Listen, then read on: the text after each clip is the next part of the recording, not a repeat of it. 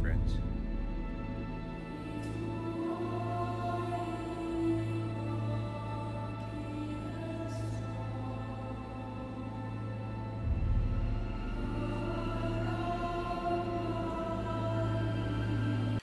My friends, welcome back. It's your man Tactical. Back with another axe. Today a real axe. This is the Wetterlings Backcountry Axe. Comes with a nice leather sheath. And this one actually fits. I hear a lot of people say they like the Condor one better because it looks better finished, but at least this one fits. My Condor didn't even fit right. I had to wrap it around there, which was stupid. There you go, there's your sheath. Oh, look at this. This is very nice. Hand forged in Sweden. Look at that beautiful handle. That is a hickory handle. You see the grain is pretty straight and uniform. Lanyard hole. Now I've treated this handle, I think seven times with boiled linseed oil before I'm even going to try it. I wanted to protect it thoroughly. Here's the head of the axe. That's a pound and a half head. Now I couldn't find the weight on the axe itself. I'm guessing two and a quarter. Because this can't be much more than like max a pound, if that. And that's a pound and a half, so something like that. Now the technical specs on this thing. Overall length, 19 and a half inches. The blade length is a three inch. Retail is usually around 125 bucks, but you can get them a little cheaper, 110, 105. I think I got this for 110. There's your stamp right there. Yes, beautifully well done. Very nice. One weird thing, there's no kind of, you got your wooden wedge, but whatever that metal one's called, it's either a circle or it's, you know, you got one or two of them. It doesn't have one. So I was like, oh, I don't know. But these are supposed to be really awesome. And by the looks and feel, it is freaking awesome. Good shape to the handle, good curve, a little bit of a, I'm not sure what you call that. We'll call it a palm swell, what the hell. We use knife terms, because I don't know. but yeah, it fits really well. And carrying this in, so far, this is the best axe for carrying.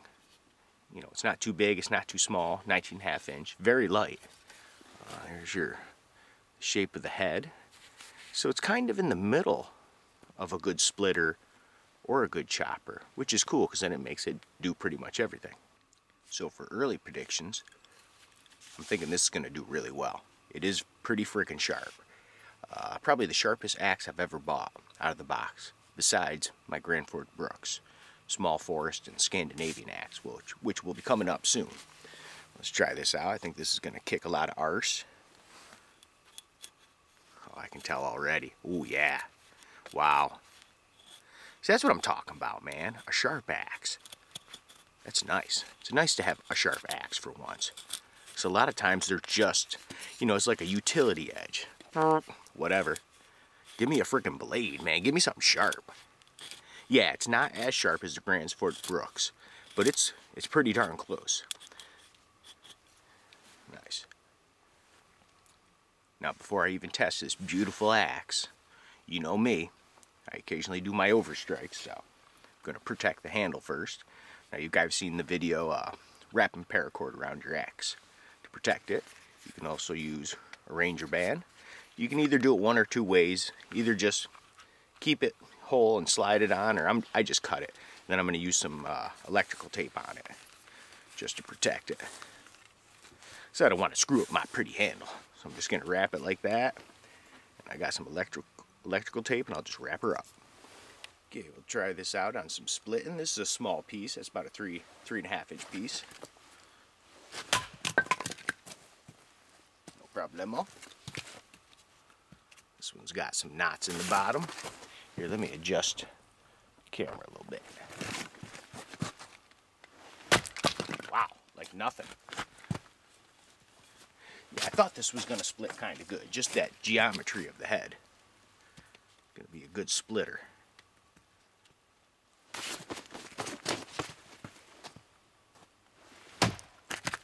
A little bit of overswing edge. Damn it. That's exactly why I protected that handle. Okay, we gotta try something a little bit bigger. This is about four and a half five inch piece. About five inch. Something more substantial. Wow. Like freaking nothing. I mean, like no effort. And I'm only doing like a half a swing, you know? Just enough to pop it like that. Bang. Not doing like a full. Because this thing is sharp. So I don't need to swing it that hard on a piece that's only like five inch. Wow, nothing. I guess it's time to stop pussyfooting around. Got a really nasty, gnarly, tons of fucking knots right there. So this will be more of a challenge. There we go.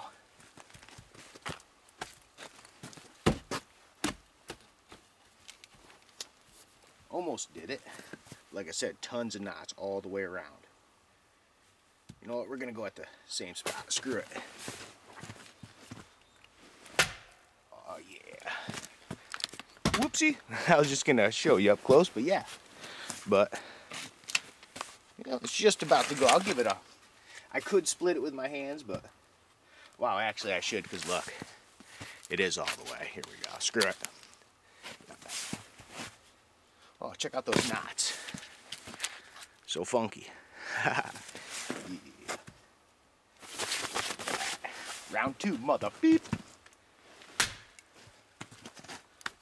I could probably pound it, but this base is so small, it'll just frickin' fall over on me.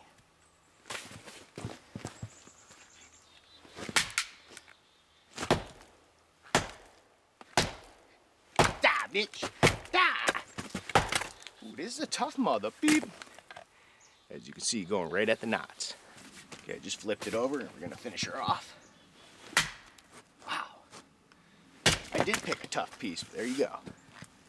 Well, let's see how it delimbs.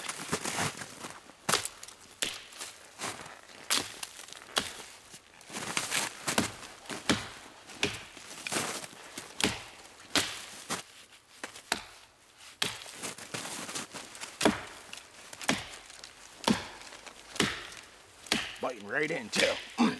Real good actually. Next we'll do the 10 chop test. This was from uh, the Condor uh, woodworker axe. This was for from the Cold Steel Trail Boss. So I'll try to be accurate and put it right in the middle. Yeah, let's see how that goes.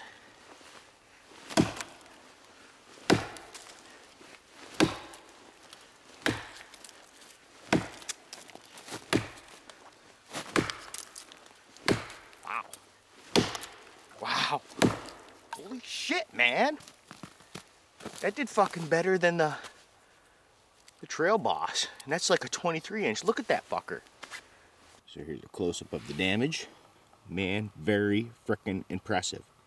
A 19 and a half inch did that. Here's where what a 23 inch did. That was uh, the Cold Steel.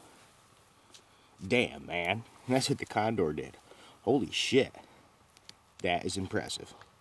So there you go. The Wetterlings Backcountry Axe. What did I think of that? Fucking oh yeah. Dude, this thing is a sweet little axe. For the size, it hits way bigger than it is. It really does. And thank you God I didn't hurt that when I did a little overstrike. I would have been pissed at myself. I was ready to kick my own ass if I screwed this up.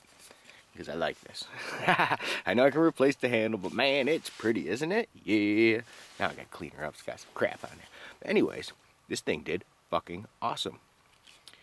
Like, for its size and its job, 1 to 10, uh, man, I gotta, I don't know, man, I, it's gotta be like a nine and a half, man. I fucking love this thing, or at least a nine and a quarter. This thing kicked a lot of ass. For the size, I mean, it's sharp, it's strong, it's beautiful. Kind of like your man. No, I'm just kidding. But yeah, dude, I love this thing. So obviously, I totally recommend it. And this thing is sick. Thanks for stopping by, checking out the vid, and until the next time we meet.